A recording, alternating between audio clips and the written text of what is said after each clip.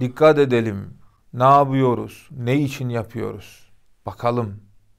Ne diyor Şeyh Nazım Kıbrısı Hazretleri? Ne güzel söylüyor. Dünyada ne için yaşıyorsun? Bir düşün bakalım. Ne için yaşıyorsun? Bakalım.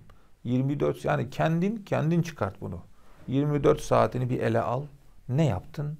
Ha, çok güzel bir yemek yaptın. Ney? Keyif. Çay yaptın. Keyif. Başka tatlı yaptın. Keyif. Film açtın. Keyif. Onu yaptın. Bunu yaptın. Bunun yanında namaz da kıldın. Namazlarını da kıldın. Topladık hepsini. Namazların hepsini tat, tarttılar. Şeye yazıyorlar. Hepsi ne kadar tuttu? İki saat tuttu. Tamam hadi üç saat olsun. Üç saat tuttu. Diğerlerine bakıyor. O kaç saat? Dizi zaten bir buçuk saat. Üç dizi. Tamam gün bitti zaten. Üç dizi seyretti gün bitti zaten. Telefon zaten namazı, namazı kılıyorum sünnet arasında hemen telefon açıyorum. Bakıyorum. Canı sıkılıyor namazda. Farzda tekrar. Farzdan sonra hemen daha şeydi. Estağfurullah çekmeden hemen telefonu bir daha. Telefonun karşısındaki saatleri telefon yazıyor zaten artık. Yani meleklerin söylemesini beklemek istemiyorsan telefona da bak. Netice keyif için geçirdiğin vakitler ibadette geçirdiğin vakitlerin üç katı olmuş. Ee, demek ki sen bu dünyada keyfin için yaşıyorsun.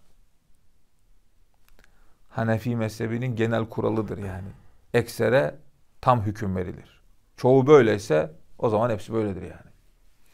O zaman çoğu keyif içinse e, keyfimiz için yaşıyoruz demektir o vakit. Sor kendine yani hesabını kendin tut. Sen ne kadar dizi seyrediyorsun ben görmüyorum zaten onu. Ne kadar telefona bakın onu da görmüyorum. Ne kadar ibadet yaptığını onu da biz görmüyoruz. Herkes kendi hesabını kendi tutsun yani. Çizelgeni kendin çıkart. He, ne diyor Hazret ne harika bir söz.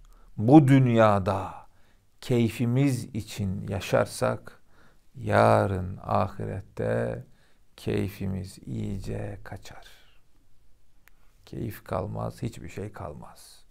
Allah'ın huzuruna vardın mı eksiklikten başka bir şey önüne çıkmaz, çıkmıyor. Böyle. Hiçbir şey de orada gizli kalmıyor. Böyle. Ne kadar kaçacağım da göçeceğim de desen kaçamazsın, göçemezsin. Geleceksin Allah'ın huzuruna. Subhanahu ve Teala.